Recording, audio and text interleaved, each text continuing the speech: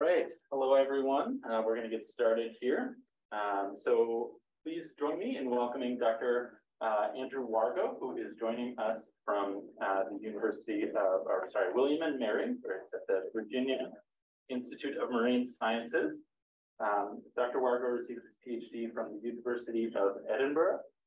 Pronouncing that? Yep, you got it. Good enough. All right. Yep. Um, where he researches uh, currently the um, uh, drivers of virulence evolution, post-pathogen coevolution, and disease math mathematical modeling, amongst other things, uh, using primarily aquatic infectious disease systems as model systems. So please join me in welcoming Dr. Wargo as he talks to us today about the drivers of pathogen virulence. All right, thanks, everybody. Can you guys see the slides okay? Should I turn the, the light off in the back? Is everyone good? That's good? Okay. All right. And you guys can hear me in Zoom land? Everybody's happy? Yes, Okay. Good. Thank you. All right. Well, thank you for inviting me. It's uh, it's great to be here at Emory and get a chance to speak with some of you. Um, so today I'm going to talk a little bit about some of the work we've been doing in my lab on the drivers of pathogen virulence. And I was asked to back here. All right. I was asked to give a little bit of an overview of my career path up to up to now. So this was a fun exercise of digging up some old photos. Um, so I started kind of in research as an undergraduate at the University of Vermont, working with Joe Shaw, And I was looking at lizard malaria. And this was really fun because I got to go to Puerto Rico and conduct some field work. So this is me with a bunch of lizards in bags. And I was interested in lizards, but I got really interested in, in the malaria side of things. And so I uh, then went on to um, conduct my PhD research at the University of Edinburgh under Andrew Reid, studying rodent malaria, kind of uh, questions related to drug resistance, evolution of virulence, and that's where I overlapped with Diop de Rood, faculty in your department. I don't think he's in the picture there, but he was definitely around. And then I kind of shifted gears and moved into a different system, asking very similar questions for my postdoc. I moved to the University of Washington and the USGS Western Fisheries Research Center, working with Gail Kirath and Ben Kerr. Again, kind of looking at questions related to virulence evolution and strain competition, but now in viruses and fish. And then that system really was very tractable and exciting. So I've kind of taken that work with me to my faculty position at uh, VIMS, which is part of William and Mary. So I kind of broadly research pathogen emergence, evolution, and management, but you'll hear a lot about that today. Okay, so we know that infectious diseases are ubiquitous in the environment, right? Nothing has driven this home more clearly than the COVID pandemic, right? So we're getting used to these things being around. And this is not only a problem for humans, it's also a problem for animals, right? So wildlife species are heavily impacted by infectious diseases. I pulled up a, pic, a few pictures here from aquatic systems, but that's mostly what I work on these days. And this is not only true in wildlife, but it's also true in domesticated animals, so companion animals and agriculture. And when we think about disease emergence, what we really want to know is what's the impact of that disease going to be? How severe is it going to be to the population that it's affecting? And so this is where virulence comes in. So I wanted to just right up front, what is virulence? So virulence here we're defining as the harm a pathogen causes to its host or morbidity and mortality due to infection. And so what we want to know when we're uh, facing a new disease or even an existing disease is what level of virulence is it going to have? We really want to focus on managing those pathogens that are highly virulent and maybe not so concerned with those things that cause really low levels of disease. The other thing that comes to mind is thinking about why are pathogens virulent? Why would a pathogen want to kill large numbers of its hosts? What's the advantage of that for the pathogen? And if we can answer this question, we can start to think about how we might use that as a management tool.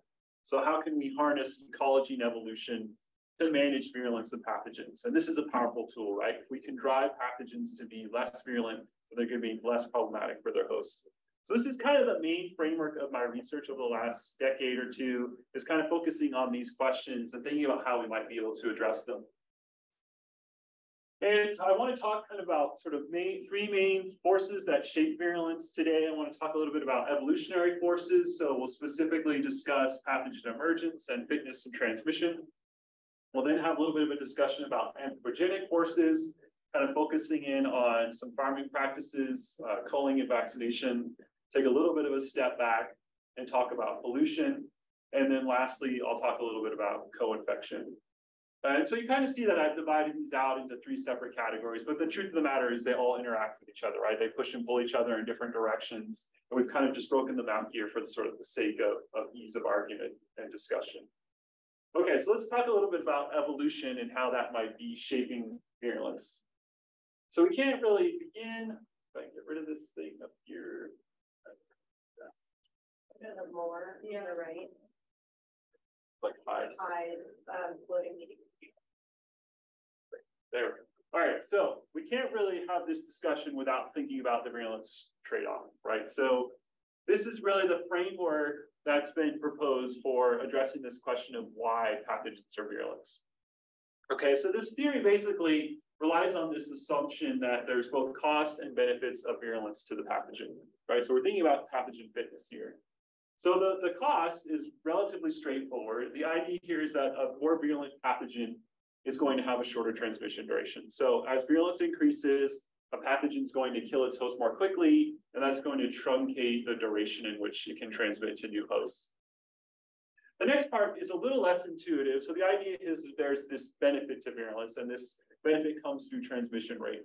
So we assume here that pathogens which are more virulent may be replicating more quickly inside their hosts, and so they're producing more infectious progeny, they're releasing more infectious progeny into the environment, increasing their transmission rate. But they're also killing more cells, right? They're replicating more quickly, so they're using up more of that host resource. And so this is causing them to have higher virulence. So we take these two assumptions to be true. We see that there should be some sort of balance between the cost and benefit of virulence, which would lead to this intermediate level of virulence, which will optimize fitness. We can think about fitness in different ways. You know, probably the most intuitive way is to think about it as R naught, like a population level spread of a pathogen. We're not really going to go too much into R naught today, but just, you know, you can kind of have that as a framework for fitness here. So virulence is optimized at this sort of intermediate level, which maximizes overall transmission. Okay, so we can think about how ecology will shape this, right? There might be situations where we might have a higher cost of virulence which might push virulence to evolve to a lower level. Or we could think about situations where cost of virulence might be reduced. So maybe this transmission duration cost is reduced and this allows virulence to evolve to higher levels. This could be a moving target. There's been a lot of theoretical work done on this, and it's a fairly old theory at this point, but we're still kind of lacking in empirical evidence to support this, you know, experimental studies. So it's a growing body of literature, some individuals this room have been involved in that work, uh, but it still kind of lags behind the theoretical work that's been done.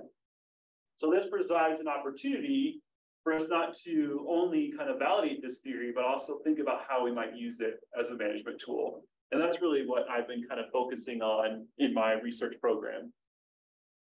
So the system that I work on is infectious hematopoietic necrosis virus, or IHNV. IHNV is a negative sense single-stranded RNA virus in the family Rhabdoviridae, so it's related to viruses like rabies. Has this characteristic bullet shape, shown here by the picture in the uh, electron microscopy image here. And it's endemic in salmon fishes in the Pacific coast. So it ranges from California all, all the way up to Alaska. It causes an acute disease, which results in necrosis of the kidney and spleen of the fish and ultimately death. You can see here some kind of typical clinical signs. Uh, fish often get this dark coloration and exophthalmia or bulging eyes. And this virus is transmitted horizontally through water. So the fish become infected, shed the virus in the water, and then new fish swimming by would pick that up. And this is going to become a little bit more important as we think a little bit about the fitness of this pathogen later on in my talk. Okay, so the other really cool thing about this system is the virus underwent a host jump in the 1960s. So this represents our emergence event. So the virus was endemic in its ancestral host sockeye salmon, where it's probably occurred for several millennia. And sometime in the 60s, it was able to jump into rainbow trout.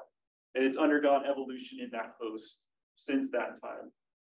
And this not only represented a movement from one host species to another host species, also represented a movement between environments.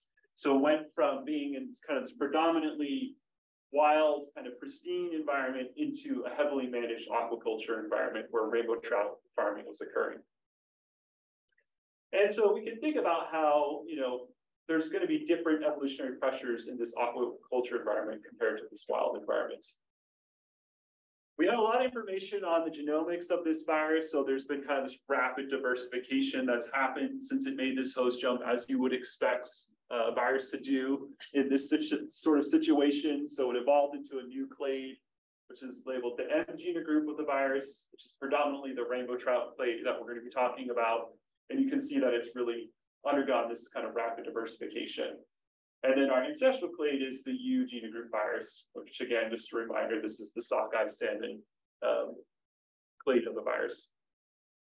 All right, so it also made this geographical uh, movement. So it went from predominantly uh, range from Washington up to Alaska. This is kind of just the native range of sockeye salmon. And then it moved more inland into uh, aquaculture facilities in Idaho and Oregon, where there's kind of this high intensity rainbow trout aquaculture. About 70% of all rainbow trout aquaculture in North America happens in this region. Okay, so once it got into aquaculture, it spread throughout the world, right? So it got into rainbow trout and then it moved across the globe wherever rainbow trout aquaculture was occurring. So we now have, uh, it's endemic basically in Europe, um, Asia, Southeast Asia, and the Middle East. And it just kind of keeps kind of cropping up wherever we move rainbow trout aquaculture. Hasn't made it into um, South America yet, but seems like it's just a matter of time. All right, so it's become a major disease in trout farming. It's probably one of the major, the biggest issues for rainbow trout farming, at least in North America. And it's an OIE reportable disease, so it's really important pathogen. This poses a lot of issues for management, but also provides an opportunity. Because it's so heavily managed, there's been lots of sort of isolation of isolates, you know, collection of isolates over the last several decades, and these have been archived. So we have about over 3,000 isolates now that have been archived, span this host jump to present day. And we're really fortunate to have this. Uh, this is a collection that's managed by the, the USGS Western Fisheries Research Center. And so um, we were able to use this as a resource to answer this question about virulence evolution. And this is work that's being done by my PhD student, Melina Lower. She gave a talk here, I think, EID meeting last year. Uh, and so she developed this really kind of straightforward study design where she looked at different isolates of the virus. So she has isolates from the M clade as well as the U clade. So these are the novel and ancestral clades of the virus. And she chose isolates that span the host jump to present day. So not only sort of spanning the diversity of the phylogenetic tree, but also spanning the temporal sort of range of that host jump event. And she had some, you know, a nice range of the ancestral virus as well as a control. And she did these fully crossed experiments where she exposed both the novel hosts, rainbow trout, and the ancestral hosts to all these different isolates of the virus, sort of a one by one um, pairing. And what she was looking at in these experiments was virulence. So just to give you a little bit of an idea of what this looks like in the laboratory setting, so we're able to culture this virus on cells. So this allows us to get really controlled viral titers that we can use to dose our fish. We expose them through this natural route of transmission. So it's a waterborne exposure. We just basically add the virus to the tank of water. We let the fish get infected and then watch them, let them do their thing. Uh, typically, we have about 20 fish per, uh, per tank and about three tanks per treatment. So this is what it looks like in the lab. We have these zebrafish tank systems with multiple tanks in there. Um, and then we just track mortality over the course of the infection. So this gives us a really a true estimate of virulence. So we can see the number of fish that die, how quickly they die over the course of an infection. And we also can take water samples and track things like viral shedding. I'm not going to talk about um, the shedding data for this particular experiment that Melina ran, but we'll come back to some shedding data later on. All right, so getting into some data here. So what we're looking at here is mortality over the course of an infection. All right, so cumulative percent mortality, and each bar represents a different viral isolate. And you can see that we've arranged these, we've split them by the euclade virus is shown in blue here on the left. And then the uh, M clade here is shown in yellow. And we've also arranged them within clades by the year that they were isolated. So they're from oldest to newest. So the first thing we're looking at is our rainbow trout, our novel host. And what you can see is that the M clade virus is always more virulent than the U clade. So this represents kind of this host specialization that's happened. Moved into a new host, it's able to cause disease in that new host. What's really interesting about this is this pattern of virulence through time. So it looks like we have kind of this gradual increase in virulence that's continuing to happen as this virus becomes more adapted to its new host. We compare some of the ancestral isolates to the more modern isolates. If we look at sockeye salmon, our ancestral host, we see a very different pattern. So in this case, the U clade is more virulent than the M clade. Again, again, this just represents that host specialization. But we don't see this virulence change through time. And we wouldn't necessarily expect this, right? So remember, I told you that this U clade has evolved in sockeye salmon for several millennia. So we're not necessarily going to expect any recent evolution to occur. Um, so, you know, kind of see this sort of stable level of virulence. I mean, there's variation, of course, but there's no consistent pattern through time. Okay, so what we saw here is that IHNV appears to have evolved increased virulence after it made this host jump. And it's continued to do so through time. And the question we're really left wondering is why? Why would the virus do this? What's the advantage of having higher virulence for this virus? So this gets us back to this fitness question of thinking about a mechanism that might be driving this. So we get back to our virulence trade-off. What we're really trying to do is test these assumptions. Can we see that there's a transmission duration cost to virulence and a transmission rate benefit to virulence in our IHNV system? So we've been trying to tease this apart and think about ways that we can test these assumptions and validate them in our system. Sure. Can you go back one slide? Sure. Um, oh, sorry, one more slide. Um, so the top slide there is virulence as, as measured in the null host. This panel, the top panel, yes. Yeah, Okay, sorry, that's, yeah, no problem. Um, yeah, and so then this would be the ancestral host down here. Yeah. Okay, so we wanted to think about how can we tease apart this relationship and get at these assumptions. Um, so we, we've gone back to the lab and thought about ways we can characterize virulence. So very similar experimental designs as to what I described earlier. We expose fish to the virus at controlled dosages. And in this case, we're just going to focus on two isolates, which I'm labeling as genotypes. I'll kind of use that term genotype and isolate interchangeably for my talk.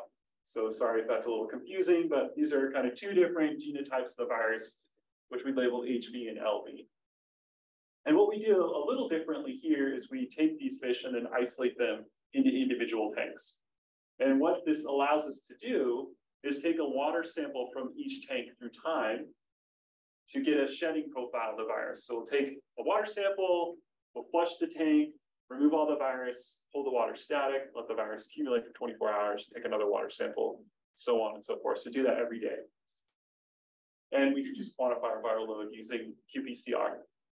So if you remember, I told you that this virus is transmitted through water. So this is really giving us like a transmission potential profile of the virus. So we can kind of say, okay, your transmission success is going to depend on how much virus you shed, you shed uh, over the course of an infection. So what do we get? So first thing we looked at was mortality. We wanted to see what the virulence difference between these two isolates was. So in this case, HV, might have guessed that is the more virulent isolate than LV.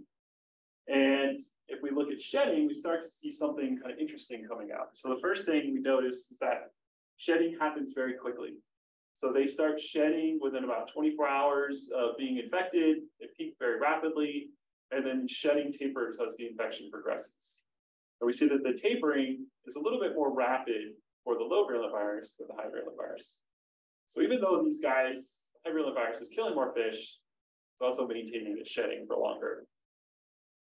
Just to make sure that there wasn't something weird. Yeah, go ahead. Sorry, real quick, is that, um, amongst all the fish in, in a tank, or, so like mortality might somewhat be driving the, the increases right away, or are we? Yeah, so these, remember, these fish are, there's only one fish per One. Yeah, and then, um. Yeah, that's a good question. Um, when a fish stops, when a fish dies, we, we don't, it does, we remove it from shedding. Yeah. They do keep shedding after they die. We talk about that later if you want, but we remove them the day after they're found dead from this data. Sorry, Yeah, no problem. All right, so it looks like the more virulent genotype has higher shedding and this seems to suggest that it's going to have a higher transmission rate.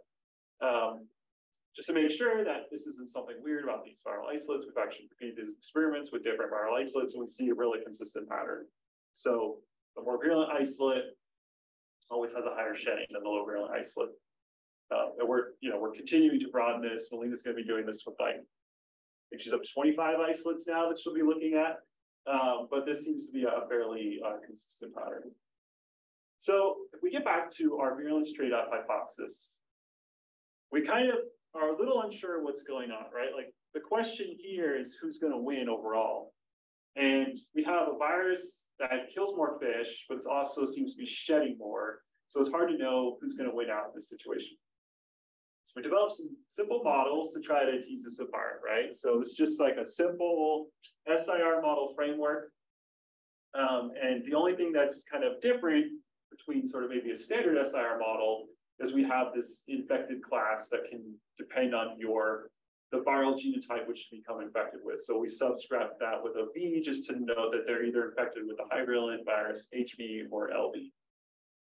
And then we have parameters which govern movement between these classes or transmission rate. Again, that transmission rate will differ between the HV and the LV virus. Same thing for the recovery rate. It's going to depend on which genotype you're infected with and the death rate. And we just parameterize these models with our data. So we look at the mortality data that gives us a, a death rate. And we look at the shedding data to uh, calculate our transmission rate and our recovery rate. So we assume that once a fish has stopped shedding, it's become recovered. Okay, so it's no longer infectious. And here's what the model looks like. So if we kind of let this epidemic run at a population level for about 300 to 400 days, we see that early on, looks like the low virulent virus kind of has little advantage initially, and then it, quickly gets um, like sent to extinction and the high virulent virus becomes dominant in the population. So it looks like at a population level that the virulent virus has greater transmission success and overall fitness is higher. Okay. We're Going to move on to the next part. So, if you have any burning questions? I have sort of a silly one. You said you were working with trout and salmon, right? Yes, Those tanks are so tiny. I feel like those fish are so large. They're they- pretty small. So like Really? the fish are like big. Yeah, we work with juveniles because like we, Gotcha. we don't work with adults. And we could talk, there's a lot of reasons why. Yeah. The most obvious reason is that like you need a tank that was, Sure. like that. So is there any difference that you would expect in an adult population with these sort of transmission dynamics? Yeah, so adults are, the biology, um. As they get older, they become more resistant to disease, Mm-hmm. clinical disease, but adults are really important for transmission in the wild. Um, so even though they're not necessarily getting as sick, they're transmitting it a lot because they move around a lot.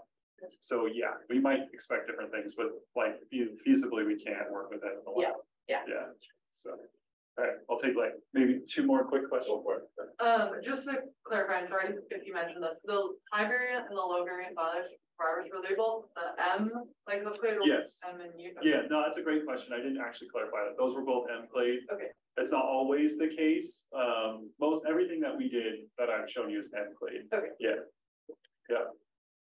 Um, Oh, sorry, go for it. I- I've already asked. So, so to clarify the, the model from the data that you have, um, you, don't I make some kind of assumptions about how virus shedding actually translates into transmission? Yeah, Um, what are, what were the steps?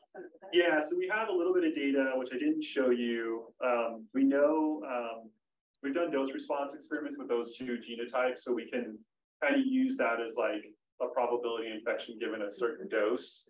And then we can sort of model in, okay, what's the dose of virus that's being shed to make those connections and come up with like a transmission term. Is it linear with, uh, the mad virus, or is it usually like, uh, log? It's, it's log linear, yeah, yeah. All right, I'll move on. We'll have time for questions at the end, I hope. Um, all right, so we kind of, we sort of wrap up this evolutionary forces thing. It looks like IHVs evolved increased virulence and this seems to be driven by transmission duration. Okay, so now let's think about some anthropogenic forces. And what we're really thinking about here is aquaculture, right? So aquaculture is this really high intensity operation for trout farming. So you have these really big farms and the scale here is kind of hard to get an appreciation for, but These little black squares are what we call raceways, and those squares can hold up to like hundred and fifty thousand fish each. And you'll have maybe like dozens to hundreds of those on a given farm, and then on a given river, there will be multiple sites, right? So you could have, you know, 10 to 20, 30 sites on a- any given river. So there's a lot of intensity here. Um, and there's a lot of things that are different about that than that wild environment I showed you earlier. Um, that could drive evolution. And we don't have time to talk about them all today, but I just want to talk about two things that happen in aquaculture um, that are kind of interesting. So culling and vaccination. All right, so we'll start with culling. So uh, for those of you who aren't familiar with culling, so the way that we define culling is euthanasia of a host population when mortality reaches a certain threshold. So imagine that you are a fish farmer and you've got multiple raceways on your farm and you see a disease outbreak on one raceway and you want to prevent the spread of whatever's in that raceway to other raceways in your facility. So just come in and you say, okay, mortality reaches a certain level, I'm going to remove all the fish and euthanize them from that raceway. But I'm not going to worry about who's infected and who's not because I can't really sort them out. I'm just going to clear everybody out. So this is used pretty extensively in aquaculture, particularly with young life stage fish because they're a fairly low value product. Um, we have other high, profile cases like foot and mouth disease where you kind of, this occurs from sort of a biosecurity um, standpoint. What we want to think about is how this might drive virulence evolution. So imagine you've got these two populations which become infected with one with a low virulence strain of a virus and one with a high virulence strain. And we know from our previous research that about the same number of fish become infected with these two strains. That's kind of the data I showed you earlier. But what really differs is the number that die. So about 20% might die that are infected with a low virulent strain. Maybe about 80% will die that are infected with a high virulent strain. And if we think about our culling threshold of say 30%, we can see that the high virulent infected population is going to reach that threshold and get culled, whereas the low virulent population may not. So it might escape culling. So this might provide an opportunity for this low virulent pathogen to have an advantage. And if we get back to the, the virulence trade-off, what we're really doing is we're kind of forcing this trade-off to sort of become more present. So as virulence increases, the likelihood we're going to cull a population is going to go up. And so we're, we're increasing that transmission duration cost of virulence. In theory, this might select for a lower virulent pathogen to optimize its fitness. I've been talking a lot today, so my voice is starting to feel it. All right, so let's test this with IH&V and see if this actually holds up in our system. Okay, so we went back to our data and sort of thought about, okay, what is this going to look like? So just looking at that mortality and shedding data that I showed you earlier, if we set our culling threshold to 30%, you can see that this high virulent infected population reaches that threshold around day six or seven. So we basically would wipe out all the shedding of the virus from that point forward. So we're moving that kind of part of the red curve down there in the bottom. And what this might do is provide a little window where a low virulent virus has the advantage. So as it turns out, I'd love to test this experimentally, but you can imagine like conceptually that's very hard to do, right? We have to create really large populations. We'd have to like have cull some and not cull others, allow the virus to go undergo evolution. Um, I'm, I'm trying to think of a way to do it, but we wanted to start with building some models first to see if this even works out um, sort of mathematically. So just take our little model framework, which I described to you earlier, and we kind of scale it up to a farm level.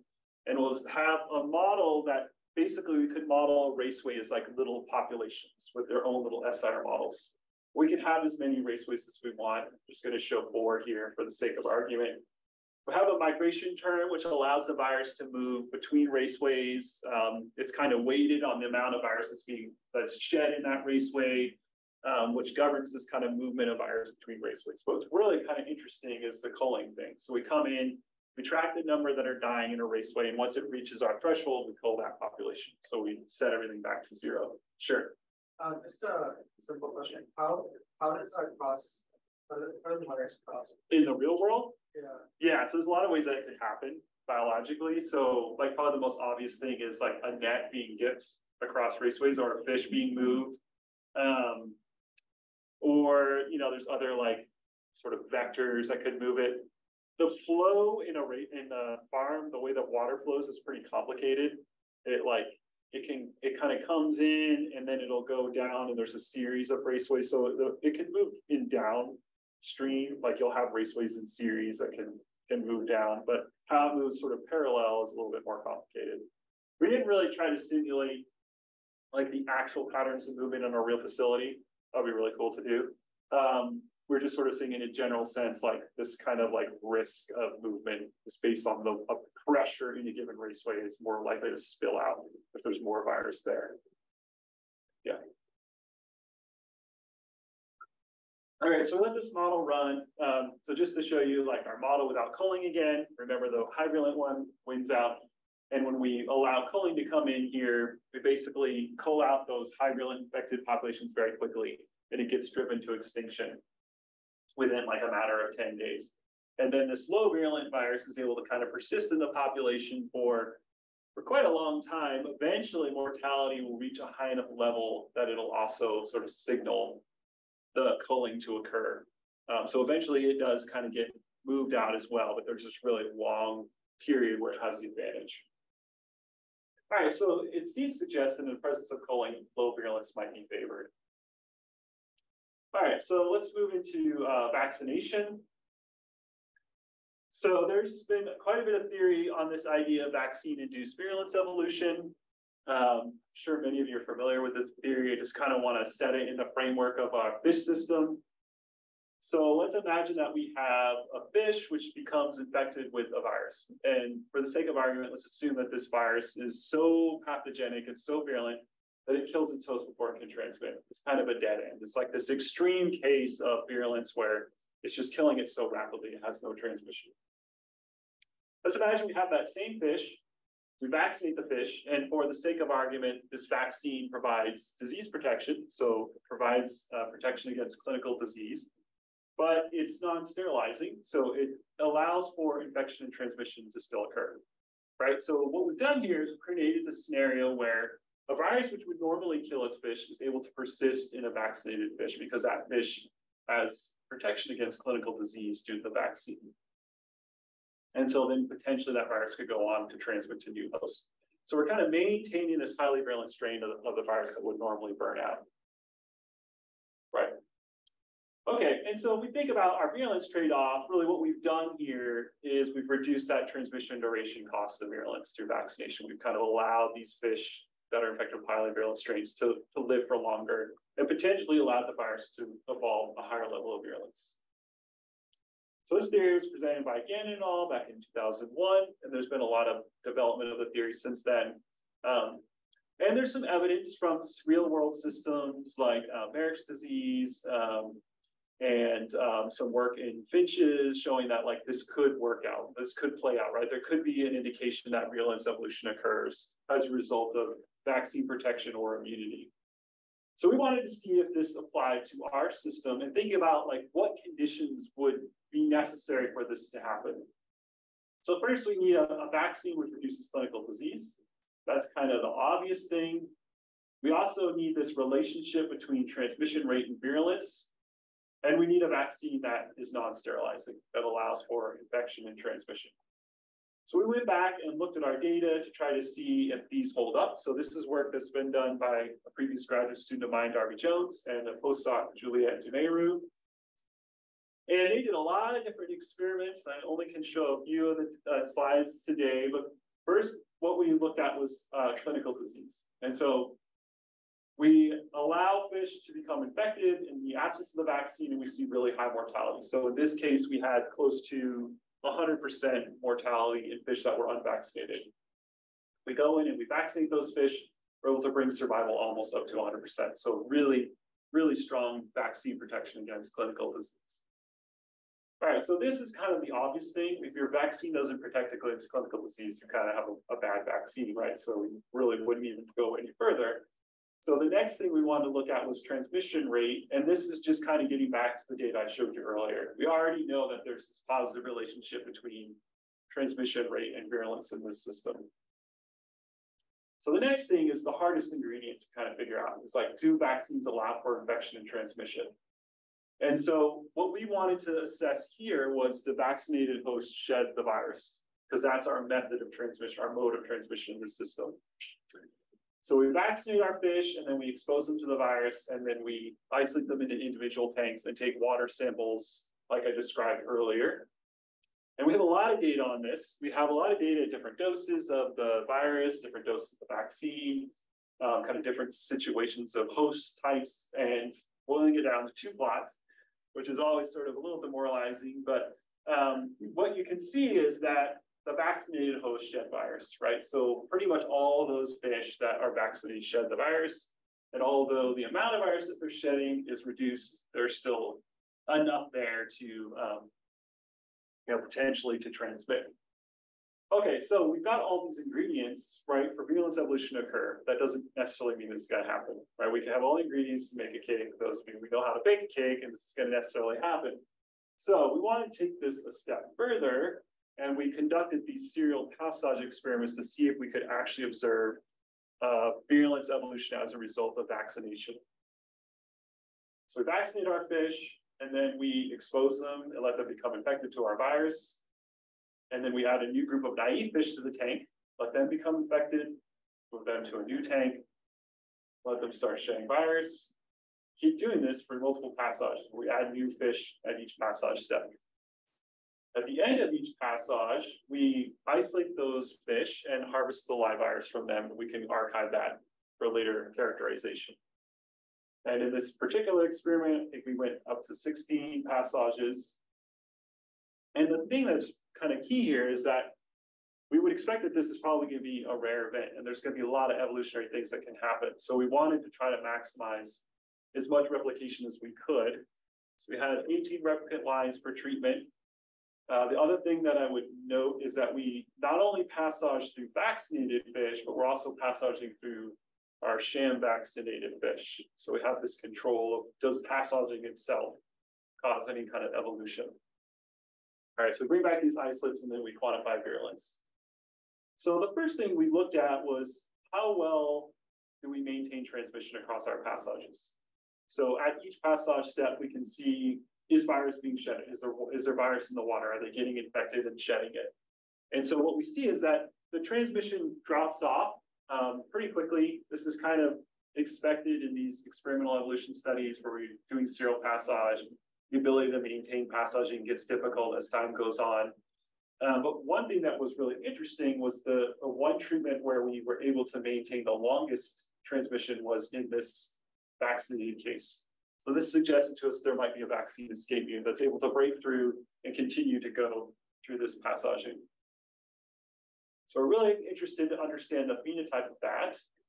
So we went back and characterized the phenotype of, I think, five isolates from our unvaccinated passage virus and our vaccinated passage virus and compare that to the ancestral virus, we saw a lot of variation, right? So in some cases, we get increases in virulence. In some cases, we get decreases in virulence.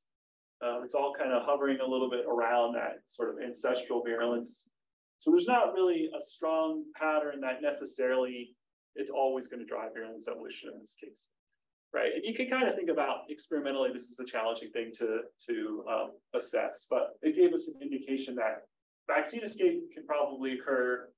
We're still unsure whether that's associated with virulence evolution, but there's certainly potential for that to happen. All right, so I don't necessarily need to make this public service announcement for this audience, but I get often asked when I give this talk, it's like, so are vaccines good or bad? Should we use vaccines?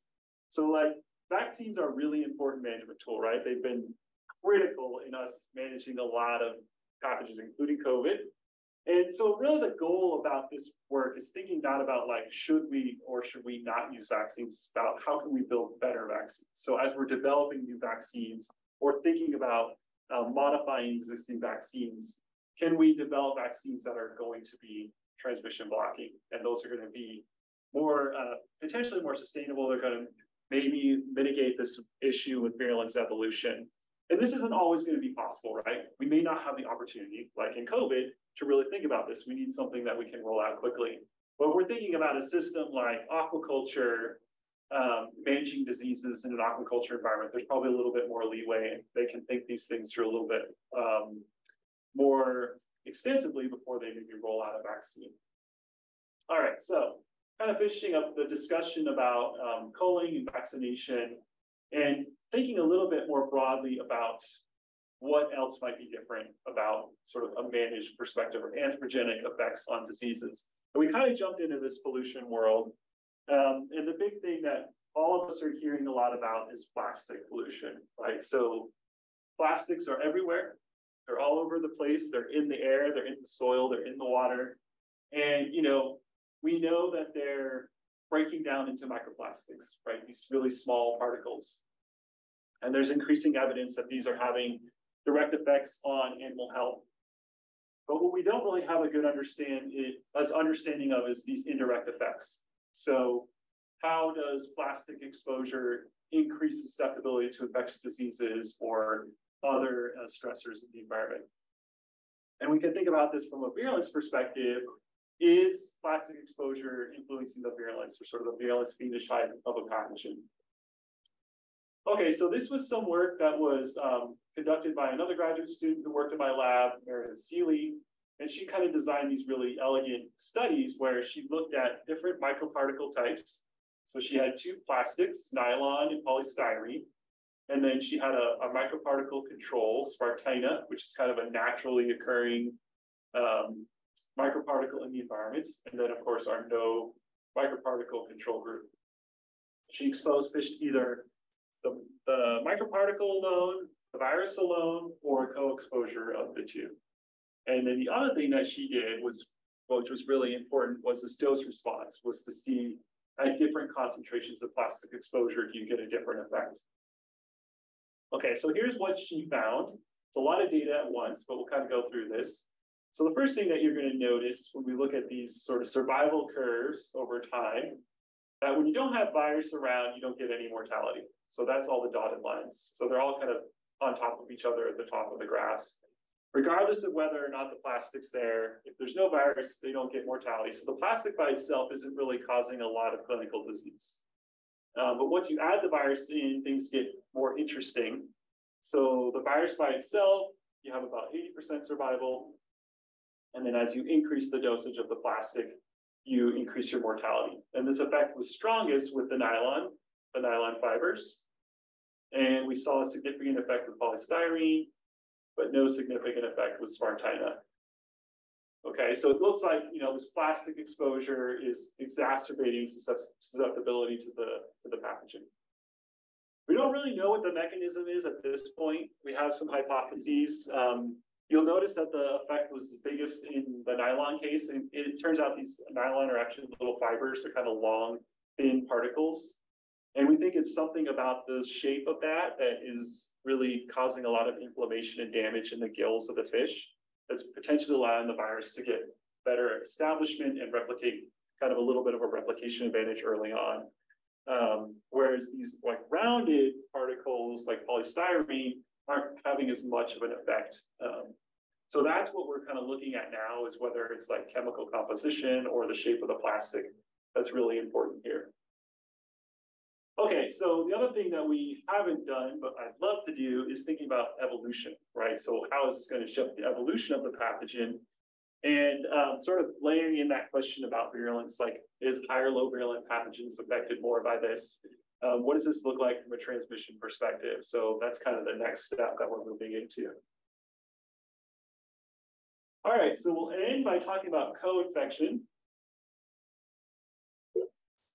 Uh, so this is also some work that we've kind of been thinking about for several years. And again, I don't need to really tell anyone in the audience this, but you know, we know co-infections are really common, right? We look at hosts in the environment, they're typically harboring a lot of different pathogens at one time. A lot of our research is really focused on single infections. That's really, from a logistical standpoint, that makes sense. We kind of need to know what's happening in a single infection before we add complexity. And where the studies have been conducted, we know that co-infection often alters disease dynamics and severity. There's a lot of work that's been done on this question about co-infection and selecting for increased virulence. Some individuals here have done some work on this. Um, and this is through this idea of the tragedy of the commons. I'm not going to talk about tragedy of the commons today. Um, it's, it's a really interesting topic. what I've been kind of focused on is sort of this idea about how co-infection might impact disease management, particularly vaccination and how we look at vaccine effect in efficacy. All right, so our study system again is IHMV, uh, which is the virus described to you earlier, and we have this bacteria, Flavobacterium psychrophyllum, which is also prevalent in the environment. So uh, Flavobacterium is kind of ubiquitous opportunistic. So it's like always there. It's pretty much in all aquatic environments. And it basically causes issues when the fish are stressed or if there's like certain strains of the bacteria, we can get disease issues. That's probably the number two pathogen that they worry about in rainbow trout aquaculture in North America. So our hosts here are salmonids again, and both these pathogens causes acute disease. So in the case of FP, we get this necrosis of, of um, skin tissues, which can result in death or a, a product that they can't use, they can't sell it. Uh, so it's an unmarketable product. All right, so what do our experiments look like? We have our host and we vaccinate these hosts against IHMV. So we have this really effective IHMV vaccine. So we're vaccinating them against the virus. And then we're exposing them to either a single infection of each pathogen so IHMV alone, FD alone, or co-infection. We do our isolation again, and we quantify shedding of each pathogen. So we have quantitative PCR that's specific to each pathogen type. And then we also track mortality. So let's look at the survival data first. So here we're just showing the virus by itself without vaccines. So in this case, we had about 80% survival. So we chose a dose where we didn't completely kill all the fish, but we got a little bit of mortality. We come in and we vaccinate those fish, we get 100% survival. So again, this vaccine is really effective at uh, protecting against clinical disease. If we look at the bacteria, again, in the absence of vaccination, we see uh, about 60% survival, so kind of this moderate level of survival. The vaccine provides a little bit of protection, this is cross protection from the vaccine. Again, remember this vaccine is targeted against the virus. Um, we're still kind of teasing out why there's cross protection there, but we get a little bit. And then things get really interesting when we look at co-infection. Okay, so in this case, we get a lot more disease when the, the two pathogens are present together, right? Mortality just goes really, really high.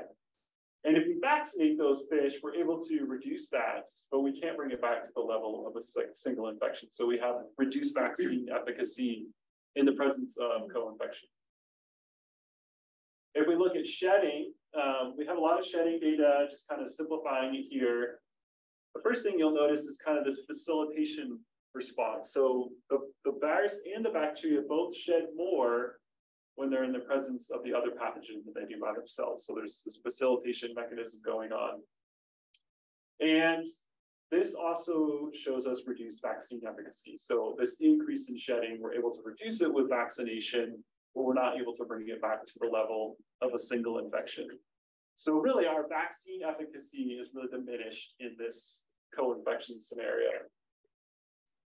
Again, we haven't really thought too much about the evolutionary consequences of this, but it would be interesting to kind of go there next and think about, okay, if we do have this facilitation response, that might be shaping the, the virulence of these two pathogens in an evolutionary perspective.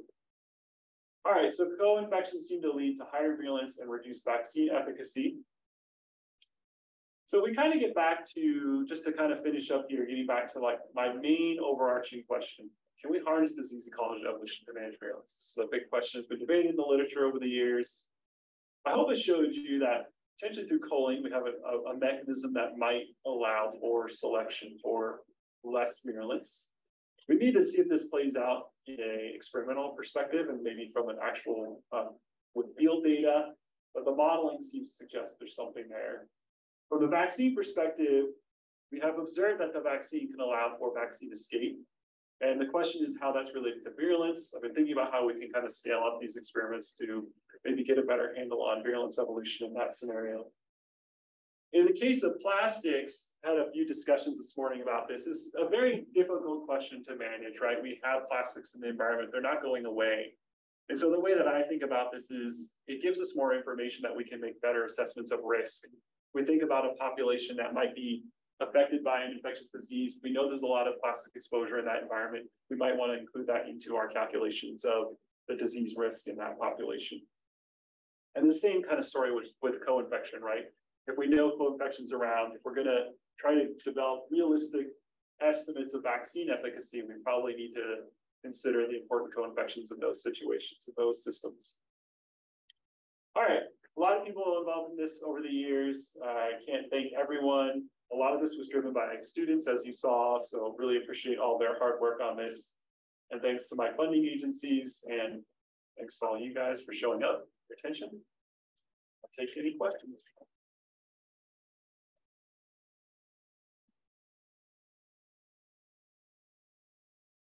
Um, I have two questions. Sure. Um, the first is, uh, at the beginning of your talk, you're kind of showing like phylogeny of all the different strains of the, uh, genogroups. Mhm. Are, are they, uh, antigenically distinct or it seems like there's one vaccine, did it provide? Ah, protection yeah, against- that's a good question. Um, yeah, so the vaccine. We haven't, there hasn't been a lot of work, a lot of work done on that. There's been a little bit. So it seems like the vaccine is pretty cross-protective against like the different, like the, if we use an M vaccine, an M clade vaccine, it seems to protect against you pretty well. Again, most of that is all based on mortality Yeah. data, so when it comes to like infection levels, probably there's very little data on that. Um, but yeah, it does a pretty good job. I think we could do a little bit more work on that, though. Yeah, Um, and then the second question, I guess, is about, um, bottleneck sizes and whether, um, like obviously in, I'm more familiar with like human viruses, we think about how bottleneck sizes sort of constrain the evolutionary potential Yeah. of, of those viruses, but in aquatic systems, it seems like those bottleneck sizes would be much larger, kind of if at all, there's sort of the water and then everything's like moving around in the water. Um, but in, in the, um, kind of facilities and pictures that you're showing, um, you talked a little bit maybe about how water kind of goes down through the runways, but then also there might be, um, like smaller events of transmission sort of between parallel like tracks. yeah, Um, so I guess I'm wondering the extent to which like in natural or, or like aquaculture systems, bottleneck size either is not at all like a factor in the evolutionary like pathway of this virus or, or impacts it. Um, yeah, no, it's a great question. Abby and I were talking about this earlier a little bit. It's like, uh, we have done a little bit of work on trying to estimate the bottleneck size in this system, doing like some co-infection, co-exposure studies, and looking at like co-exposure to different ratios and seeing how many become infected with a mixed infection and kind of using like a binomial distribution to estimate it. Somewhere in the range of like five to twenty viral particles. So it's pretty like, it's Yeah. kind of similar to what you'd expect to be human virus. But, um, yeah, so we know that that's happening, but, you know, what we don't have a good handle on is like, that's very much in like a laboratory setting under one controlled exposure dose and in the environment. In an aquaculture facility, there's probably a lot of other things going on. There's a lot of stressors in that environment. Um, I think what we would probably say is that, what I think probably happens. This is actually a question I've thought a lot about, is like, how does an epidemic play out in a facility? Is like, what I think probably happens, like, we know the probability of a fish becoming infected is pretty low. But once it does, what probably happens is that it ramps up, like the initial introduction is kind of a rare event, but then once it gets in there. The fish becomes infected, starts shedding a lot, and there's like this proximity thing, they're in such a high density environment. That it's able to spread through very quickly, you know, so I think it like, it gets initiated and then it kind of takes off. Yeah. Um. I don't know, I mean, I think it's, it's an interesting question about like. There might be different bottlenecks, like you're talking about. When you're talking about movement horizontally versus serially through the facility, the thing that's kind of strange is that. Some early literature where they looked at like mapping epidemics on farms, it's not like the way you would expect that it's like one series of raceway just all breaks out. It's like they get like these sporadic epidemics throughout the facility. Um, and so we haven't really been able to make sense of that. Um. I think there's issues with like testing and how well they're actually like looking, because they're all focused again on disease, right? So they're looking for mortality. And so that's triggering them to go in and test. Um. But yeah, the movement through a farm in between farms is something that we don't have a good handle on, and I'd like to know a little bit more about, but yeah, there's gotta be bottlenecks that are happening. So what's that doing to genetic diversity? So that's one of the reasons like we use to kind of explain So everything you saw here is like, why isn't this virus just virulent? Like, there's nothing here to tell me that this virus should not be virulent, with the data that showed you today. But when we look at in the field, there's a massive amount of diversity of virulence. Like you go up and take, you collect, uh, we have isolates that span the spectrum. And so what might be happening is like the structuring where you get like these little, like sort of little populations that are structured on farms that because of like what you're talking about bottlenecks, it can't really move super well between facilities that it kind of creates these little mini populations perhaps. Thanks. Sorry, it's a long answer to your No, question. Yeah, I'm wondering more on the, on the host side of the rainbow trout, given kind of how, you know, when you were showing beforehand about how, um, highly virulent some of these strains are that are in the agricultural systems. Um, has there been any, um, I guess, uh, resistance evolution or tolerance evolution kind of in, in the rainbow trout? Yeah, so I mean, they've done a lot of work with selective breeding uh, on, on farms. That's something that we're interested in exploring. Um, to try to manage this from a, a natural ecology perspective. Um, I think we do have evidence that there's natural variation that some populations of trout that have never been exposed to the virus are way susceptible, way more susceptible than ones that have had evolved with it. Um, so yeah, there is definitely natural variation in resistance. Um, so the population that we've used for most of, actually we used a couple different ones. So the one that we used for um, Melina's work, we're looking at like that virulence evolution question through time. We tried to go back as well as we could to the like historical fish that would have been around when the host jump occurred, but we can't. It's impossible because rainbow trout have been so heavily managed that they basically got bottlenecked down to this like one or two populations, and then that was used to seed throughout the world. Um, but we do have a population that has not undergone any like human selection that we use for that one. So it's like at least kind of an unselected line.